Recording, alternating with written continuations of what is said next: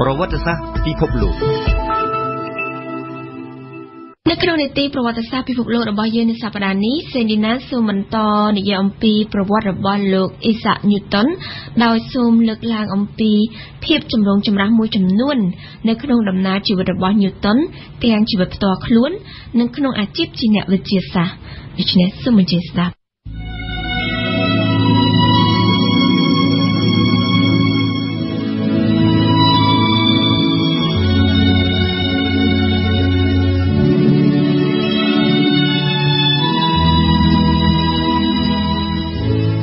តុនត្រូវបានគេស្គាល់ថាជាអ្នកប្រាជ្ញដែលមានជំនាញខាងផ្នែកវិទ្យាសាស្ត្រជាទូទៅ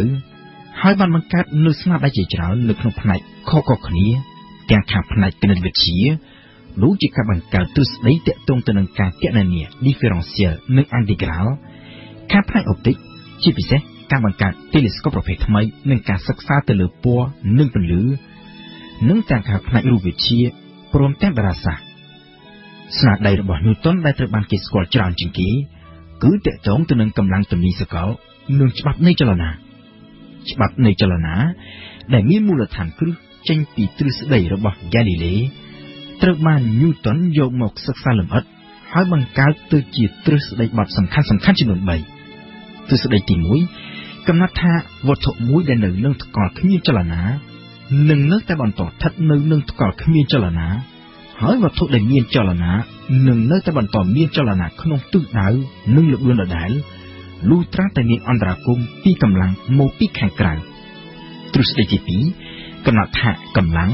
គឺស្មើនឹងម៉ាស់គុណនឹងសន្ទុះចំណែកឯទ្រឹស្ដីទី3កំណត់ថារាល់កម្លាំងនៃវត្ថុមួយទៅលើវត្ថុណាមួយផ្សេងទៀតគឺតែងតែមានប្រតិកម្មជាកម្លាំងស្មើគ្នាតបមកវិញទ្រឹស្ដីអត្ថនេះ ត្រូវបានយូតុនចងក្រងជាសិភៅដែលមានចំណងជើងជាភាសាឡាតាំងថា Principia ហើយចេញផ្សាយជាលើកដំបូងនៅឆ្នាំ1687ក្រោយពីមានការចេញផ្សាយសៀវភៅ Principia នេះហើយដែលគេឈ្មោះរបស់ញូតុនចាប់ផ្ដើមល្បីរន្ទឺនៅក្នុងចំណោមអ្នកវិទ្យាសាស្ត្រទាំងនៅក្នុងប្រទេសអង់គ្លេសនិងនៅលើឆាកអន្តរជាតិនៅឆ្នាំ1689ញូតុនត្រូវបានក្លាយទៅជាសមាជិកសភាអង់គ្លេសហើយនៅឆ្នាំ1703 ត្រូវបានតែងតាំងជាប្រធានបណ្ឌិតសភាវិទ្យាសាស្ត្រអង់គ្លេសឬហៅឈ្មោះថា The Royal Society Newton ក៏ត្រូវបានគេតែងតាំងជាសមាជិកកិត្តិយសនៃបណ្ឌិតសភាវិទ្យាសាស្ត្ររបស់បារាំងផងដែរព្រមជាមួយនឹងភាពល្បីល្បាញនេះជីវិតរបស់ Newton ក៏ពោពេញទៅដោយភាពចម្រូងចម្រាសយ៉ាងច្រើនផងដែរជាពិសេស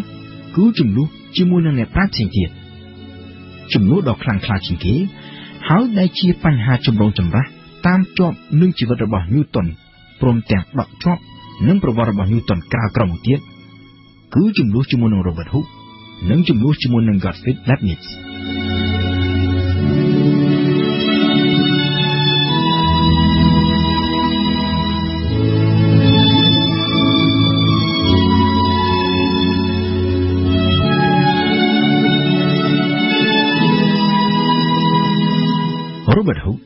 គឺជាអ្នកប្រាជ្ញអង់គ្លេស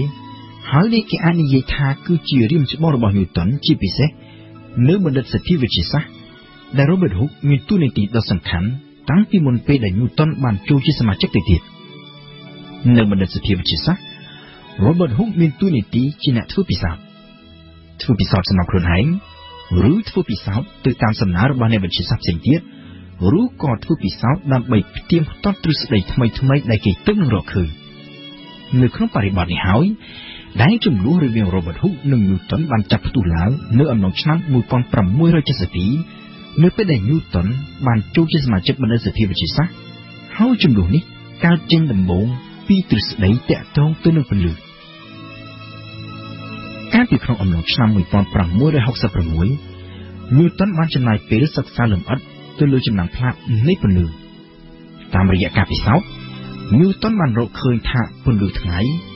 ដែលយើងមើលទៅឃើញថាមានពណ៌សតាមកាពិតទៅគឺផ្សំឡើងដោយពន្លឺដែលមានពណ៌ចម្រុះគ្នា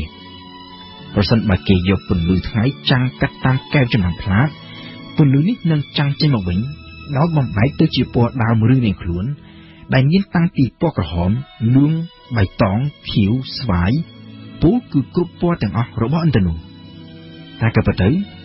គឺចំណាំងផ្លាតនៃពន្លឺព្រះអាទិត្យដែលចាំងកាត់តាមដំណក់ទឹកភ្លៀងដែលវាបង្កើតទៅជាឥន្ធនៈ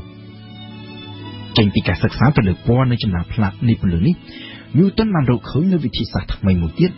ដែលអាចបង្កើតនូវ telescope ដែលមានប្រសិទ្ធភាពល្អដាច់ឆ្ងាយជាងប្រភេទ telescope ដែលបង្កើតឡើងកាលពីសម័យកាល Galilei នៅឆ្នាំ1672 ទៅតាមសំណើរបស់បណ្ឌិតសភាវិទ្យាសាស្ត្រអង់គ្លេស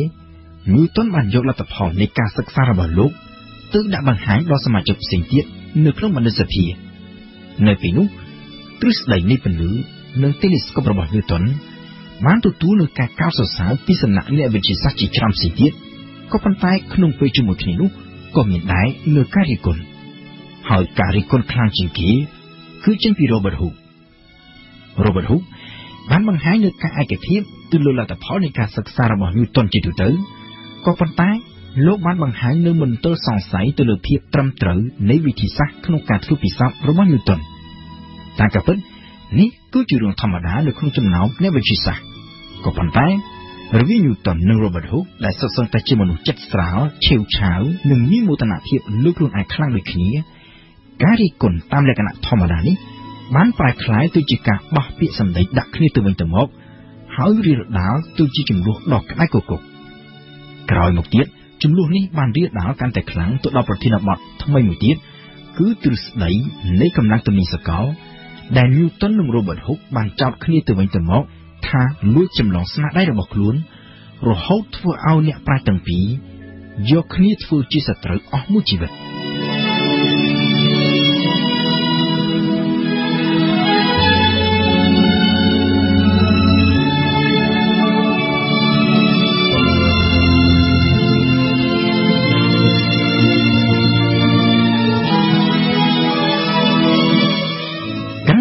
ជាមួយនឹង Robert Hooke Newton មានបញ្ហាដ៏សែនចម្រូងចម្រាសមួយទៀតគឺចំនួនជាមួយអ្នកប្រាជ្ញអាល្លឺម៉ង់ឈ្មោះ Gottfried Leibniz តាក់ទងទៅនឹងការគណនា differential និង integral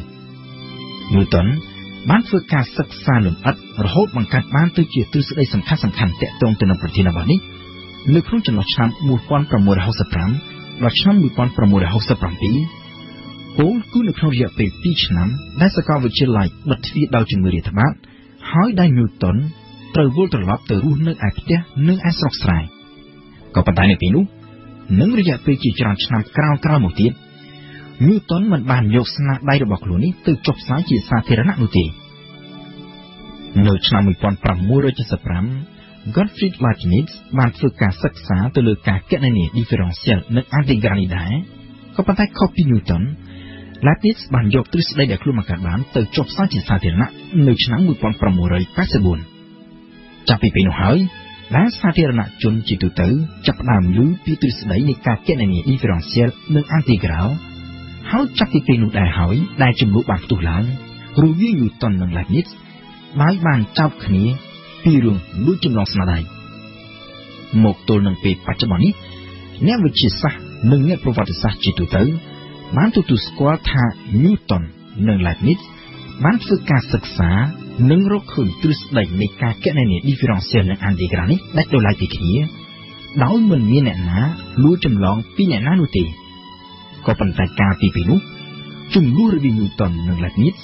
គឺមានសភាពជូរចត់បំផុតជាពិសេស Newton ដែលជាមនុស្សមិនសូវចេះទទួលការរិះគន់និងមានស្ថានភាពផ្លូវចិត្តផុយស្រួយផងនោះ បានធ្វើការវិប្រហារយ៉ាងធ្ងន់ធ្ងរបំផុតទៅលើ Leibniz Newton ថែមទាំងបានប្រើប្រាស់ឥទ្ធិពលជាប្រធានបណ្ឌិតសភាវិទ្យាសាស្ត្រអង់គ្លេសរៀបចំឲ្យមានគណៈកម្មការមួយដែលមានឈ្មោះថាជាគណៈកម្មការឯករាជ្យក៏ប៉ុន្តែបានធ្វើការសិក្សានិងសរសេររបាយការណ៍ដែលមានភាពលំអៀងទៅខាង Newton ហើយកំណត់ឲ្យ Leibniz គឺជាអ្នកខុសភាពចម្រូងចម្រាសនេះនៅតែបន្តតាមជាប់នៅក្នុងជីវិតរបស់ Newton នៅក្នុងរយៈពេលប្រមាណជា25ឆ្នាំក្រោយមកទៀតហើយបើទោះបីជាក្រោយពេលដែល Leibniz ទទួលមរណភាពបាត់ទៅនៅឆ្នាំ1716ក៏ដោយក៏ Newton នៅតែបន្តអរិភាពជាមួយនឹង Leibniz តទៅទៀត។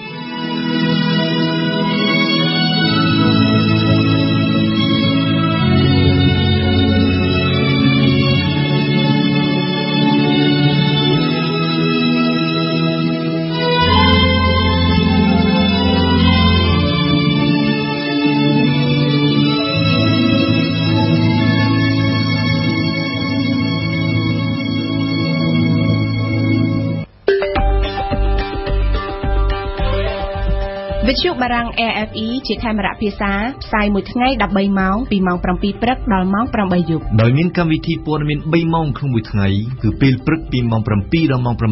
ថ្ងៃរសៀលពីម៉ោង1ដល់ម៉ោង2ពេលយប់ពីម៉ោង7ដល់ម៉ោង8សូមកុំភ្លេចបើកស្ដាប់វិទ្យុបារាំង AFE 92 MHz នៅភ្នំពេញនិងសៀមរាប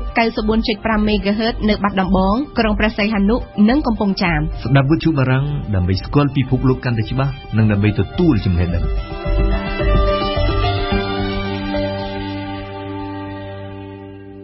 លោកលោកស្រីអ្នកនាងកញ្ញាជាទីគោរពកម្មវិធីព័ត៌មានរយៈពេលពេញមួយម៉ោងរបស់វិទ្យុបារាំងត្រជាតិ RFI នៅពេលរសៀលនេះបានឈានមកដល់ទីបញ្ចប់សូមអរគុណលោកអ្នកដែលបានបើកស្ដាប់កម្មវិធីព័ត៌មានរបស់វិទ្យុបារាំងត្រជាតិ RFI កម្មវិធីព័ត៌មានរបស់វិទ្យុបារាំងរយៈពេលពេញមួយម៉ោងដែលរៀបចំជូនដល់នាងខ្ញុំនឹងវិលមកជួបលោកនាងជាបន្តទៀតនៅយប់នេះគឺចាប់ពីម៉ោង7ដល់ម៉ោង8យប់សូមអរគុណស៊ីថាដែលបានបញ្ជាផ្នែកបច្ចេកទេសនៅពេលនេះនាងខ្ញុំរិទ្ធមូនីកានិងសហការីវិទ្យុបារាំងទាំងអស់សូមអរគុណ